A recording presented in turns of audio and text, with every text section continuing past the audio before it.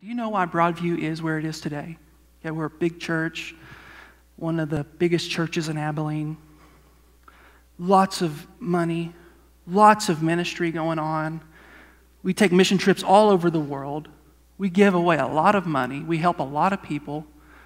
Do you know why we are where we are right now?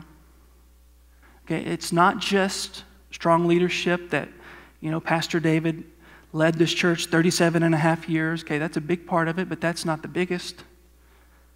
It's not good music. It's not good preaching. It's not even the, you know, the great children's ministries and preschool ministries and all that stuff. The reason we're where we are right now is because there was a history of people who came to the realization and embraced this truth I'm not going to accumulate and consume. I'm not just going to accumulate and consume. I'm going to take my time and this one opportunity and I'm going to leverage this money, these resources, not for myself, but so that people can come to faith in Jesus Christ. And so they wrote tithe checks every single week. They, every time there was a building campaign, they gave sacrificially, generously to that building campaign. Not because they wanted a new building, but because buildings are a tool that reach people for Jesus Christ. They purchased people movers and new vans. And if I could, I mean, I wish I could just tell you the stories of the people who have been lavishly generous as a result of them owning this truth. And it's not just a few here and there, it's every single person who's ever written a tithe check. It's those people who consistently give week in, month in, month out. They understand this principle that when I give, I'm not just doing it out of guilt. I'm not just doing it because that's what I'm supposed to do. I'm not even doing it because I want to support the church. I'm doing it so that people can come to faith in Jesus Christ, so that when I go into heaven, one of the things that I'm expecting is okay, who's here because I gave? Where are my friends? Jesus is saying, use your time and your opportunity, leverage it so that people come to faith in Christ. Your money is a tool. And when you think of your money in that way, not only do you, you know, have more money and less money problems, but there's a tremendous amount of joy. I've never seen someone write a very large check to this church for kingdom purposes with a frown. I've never seen that. There's always a lot of joy. There's always a lot of fulfillment when you're saying, I'm giving my, I'm leveraging my money, using my money the way God's designed me to use my money. I'm going to give up on the American dream and I'm going to get serious about the kingdom of God. And you know what? If you're a Christian, this is your story. The reason you came to faith in Christ is because somebody leveraged their resources so that you could come to faith. Every single one of us, that's our story.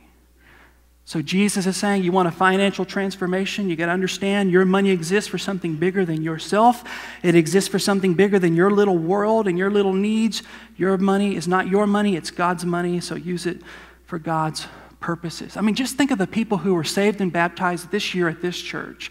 One of the reasons those people became believers and were baptized in this church is because all of us in this church, week in and week out, some of you gave sacrificially, tithed in, tithed out. You helped fund the ministry. You helped support a ministry. You leveraged your home. You leveraged your, uh, your resources so that those people could come to faith in Christ. That's what your money is about. And when you think of money in that way, it transforms everything. Could you imagine what that conversation looks like in your home? What does that look like as you talk with your family? It's not how can we use our money to, to purchase our next home, but how can we use our home for the kingdom? How can we use this money that we were going to spend on a new car? How can we use it so that people come to faith in Christ? It changes everything. It's the most exciting thing you could ever do when it comes to your money because there's no joy in consumption, there's no real joy in collection. But there's joy in kingdom investment. Your money is a tool. Some of us, we have things in our homes, they're sitting over there in that special place. you know, the stuff that when kids come over, they're not allowed to go into that room because that's where the valuables are. And when they get close to that, that dresser with all that stuff's in there, you're going, oh, no, no, no, no, kids, no, don't touch that, don't touch that.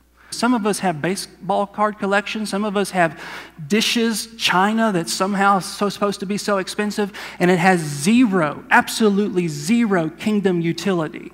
What if you took that asset, which has zero kingdom utility, and you liquidated it and used the cash to fund the kingdom?